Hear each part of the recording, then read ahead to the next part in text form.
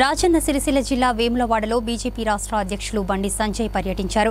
పర్యటనలో భాగంగా పట్టణంలోని పదహారు ఇరవై ఆరవ వార్డులలో సీసీ రోడ్లు డ్రైనేజీ పనులను ప్రారంభించారు. అనంతరం హరితహారంలో భాగంగా స్థానికంగా పలు మొక్కలు నాటారు.